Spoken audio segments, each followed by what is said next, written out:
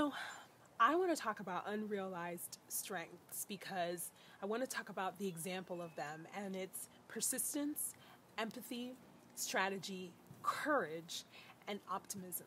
And I'm going to repeat that again persistence, empathy, strategy, strategy, courage, and optimism. And I want you to define each one with all your strengths of everything in your life how you've been persistent, where in your life have you been persistent, the empathy you have for people and others, courage, the optimism you are. I want you and I and everybody in this world to know that when we look at the positive side of everything that we're doing, those are unrealized strengths, and those strengths is what keeps us going.